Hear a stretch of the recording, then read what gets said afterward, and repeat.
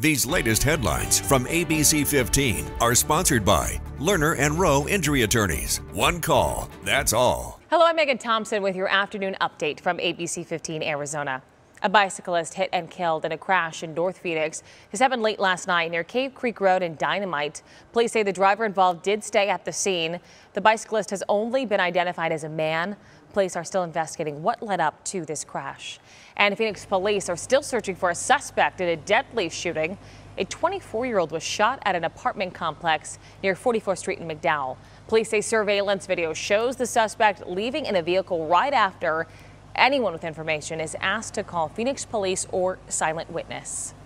Now to a big issue that will be on your ballot in November abortion laws in Arizona. For months, we have been telling you about the push for a ballot initiative that, if approved by voters, would allow abortions up to the point of viability, typically around 24 weeks. Now it has a name Proposition 139 or the Arizona Abortion Access Act. ABC 15 was the only station present as signatures were certified by the Arizona Secretary of State to get Prop 139 on the ballot. Arizona for Abortion Access telling us they feel confident about their initiative, but the group It Goes Too Far is pushing back. We got to this moment because Arizonans are so clear about wanting to have personal freedoms in our lives. In this amendment, you won't even find the word doctor or physician or woman for that matter. And so those are the sorts of things that voters need to know before they uh, go to the polls. State law currently bans abortions after 15 weeks. There is still active litigation about the language of the measure players right now are prepping for, hey, we're going Indy for two very intense, hard, long practices that are going to be souped up. Then there's going to be a mock game, and then we're going to play. So that's where they're going. As, as they, that's their mind frame as they get on the plane. Our Arizona Cardinals, they're getting ready to take flight. The team heading to Indianapolis for two joint practices with the Colts before the two teams face off in the preseason action. That game will kick off at 4 on Saturday evening. Celebrating an Arizona woman and stroke survivor who isn't letting anything stop her from enjoying her 90s. Her two main motivators to stay active, her family and her Indiana Hoosiers. ABC 15's Jordan Bonke shows us how Carolyn can.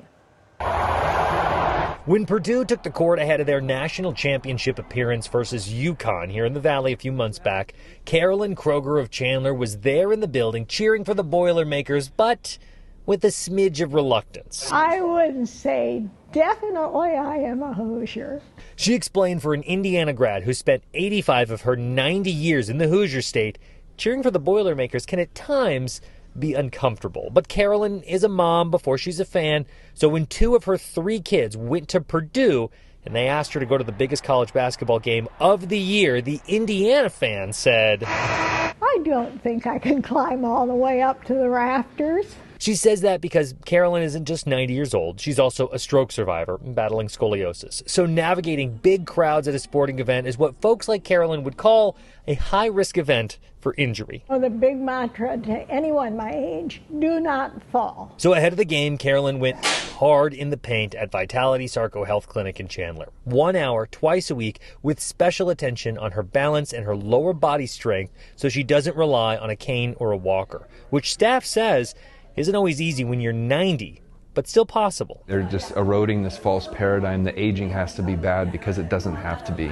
And if Carolyn worked that hard to watch her kids' Boilermakers, can you imagine the work she's putting in today as she plans to see her Hoosiers this fall in person at the Rose Bowl? Everyone pushing and shoving and she'll be ready. Oh, we would just yell, "Go IU!"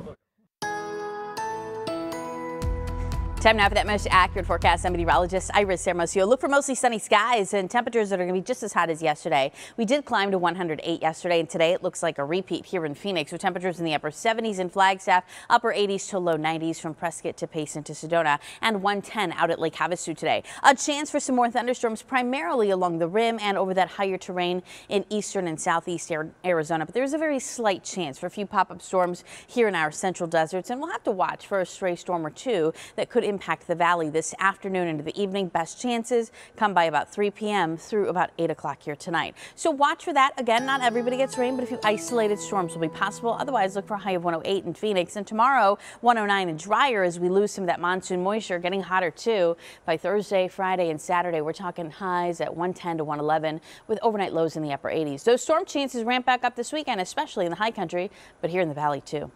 Another update tonight. Until then, get the latest news, weather, and traffic at abc15.com or by downloading the free ABC 15 mobile app. These latest headlines from ABC 15 are sponsored by Lerner and Rowe Injury Attorneys. One call, that's all.